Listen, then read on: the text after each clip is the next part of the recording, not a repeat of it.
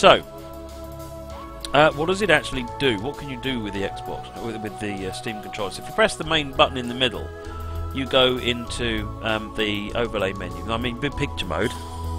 So if I go into configure controller, you get a picture of the controller up.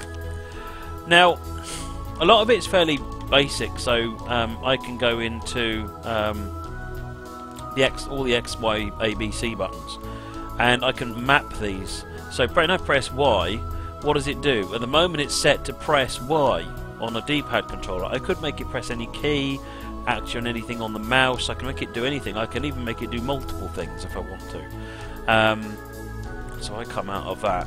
Um, you've got the joystick um, you can use. Um, you've got the, this thing here. So what I've got at the moment is if you um, so you can see if the mouse shows up. It does. So this arrow. So this is the left D-pad. What happens is if I touch the left D-pad, it's going to bring up a touch menu. And the touch menu, I've set it up to have 16 buttons. Touch menu button 1, headlights. And what that will do is it will press the H key.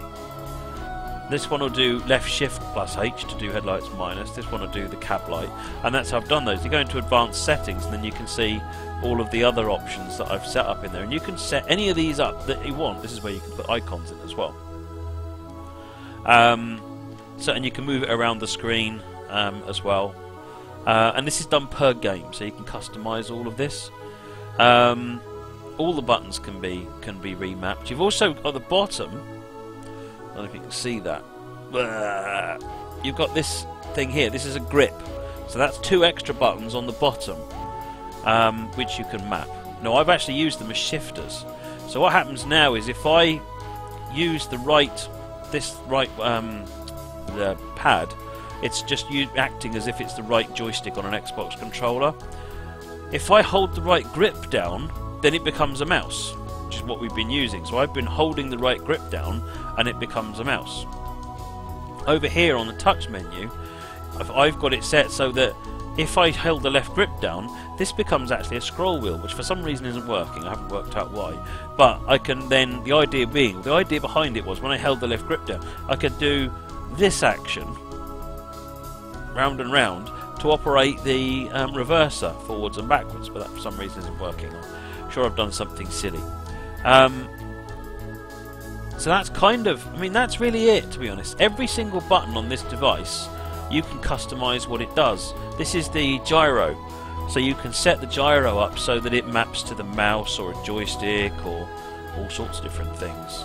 Um, so you can make it to where, as you move the mouse like that, it would move the stick like that. So it moves the mouse effectively up and down. Um, so if we change that to uh, mouse. And if we make it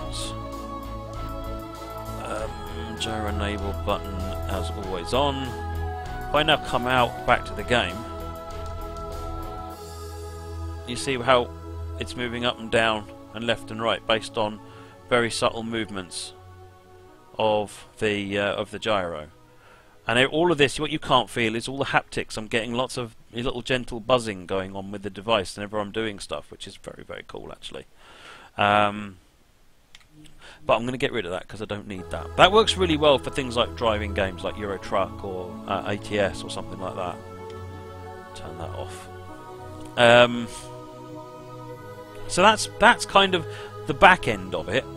So the next thing I'm going to have a look at is I'm going to drive a steam engine and we'll see what uh, we'll see what we can do. Is my config available on Steam for download? Yeah, if I go into browse configs, under community there's this one Dovetail Games TS 2016 bindings, which you can see is uploaded by me and has 48 users.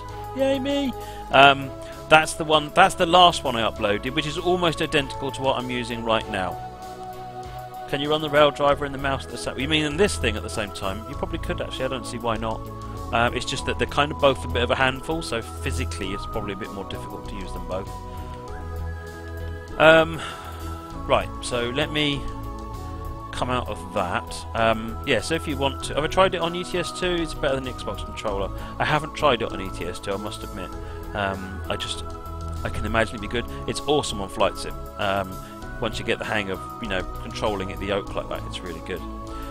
Okay, so let me come back out. What I'm going to do is I'm going to uh, change to. Whoops, wrong one.